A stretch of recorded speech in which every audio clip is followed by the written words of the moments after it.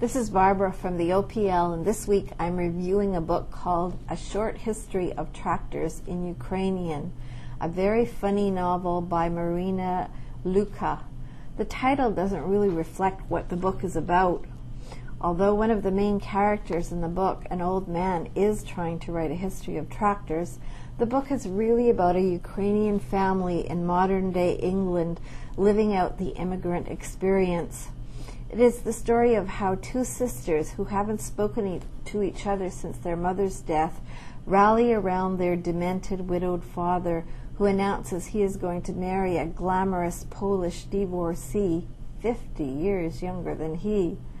It is part tragedy, part comedy, and one cannot help but get caught up with this outrageous family story as the daughters try to save their stubborn father from the selfish, cunning, and cruel Valentina, who sees their father as a meal ticket and a way to get her citizenship.